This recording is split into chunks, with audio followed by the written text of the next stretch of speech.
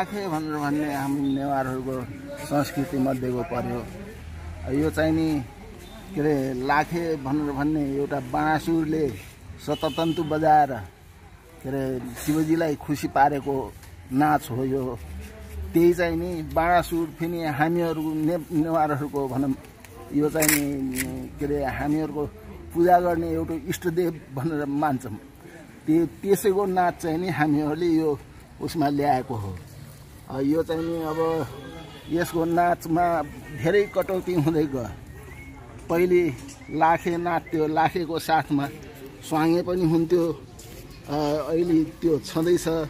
नागा र नगिनी हुन्थ्यो त्यसमा पनि स्वाङ्गे हुन्थ्यो। अनि अर्को भोटे भोटेनी भनेर भन्ने त्यो चलनै हराइगयो।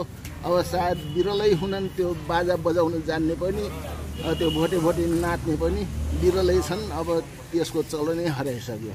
भनेपछि अब हाम्रो दाङको स्थितिमा पहिले यो चलन पनि धेरै डुबिसकेको थियो।